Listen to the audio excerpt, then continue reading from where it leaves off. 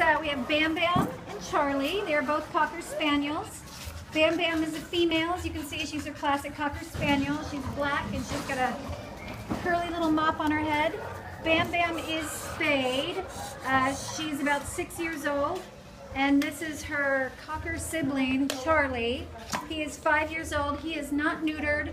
He's a male Cocker Spaniel mixed with something. He's like a supersized Cocker Spaniel. They've lived together for the last five years and their owner can no longer care for them. So we're hoping to find a rescue that can step up for these two. Um, they currently, they do live outside.